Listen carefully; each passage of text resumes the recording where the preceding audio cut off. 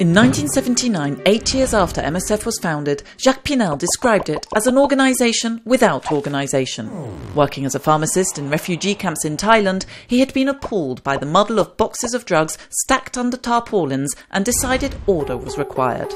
The first pre prepared kits came into being, and along with a series of guidelines and lists of essential medicines, they became the cornerstone of logistics at MSF and the means to enhance operational effectiveness.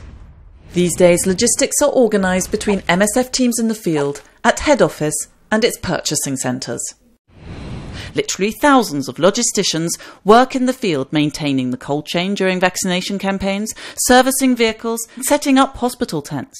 They are tasked with ensuring the smooth running of communications, particularly radio, vehicles from dugout canoes to four wheel drives, power supply, water and sanitation, biomedical equipment for treating patients, supply and storage of medical and non medical items used in the programs.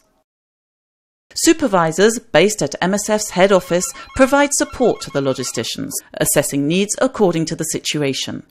Somewhere in the world, large numbers of refugees are converging. The emergency health kit contains everything required to provide 10,000 people with emergency assistance for three months. Warehoused in one of MSF's logistics centres, kits can be dispatched to the field within 24 hours.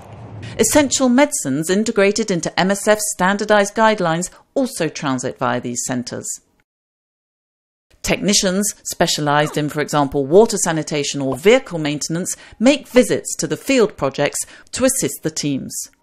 From the boxes of medicines piled up in a tent in 1979 to the setting up in 2015 of a water treatment plant to combat cholera in Congo, or the installation of solar panels to provide an office running a malaria treatment program in Chad with an independent power supply, almost 40 years after that intervention in Thai refugee camps, MSF's logisticians continue to reinvent their craft.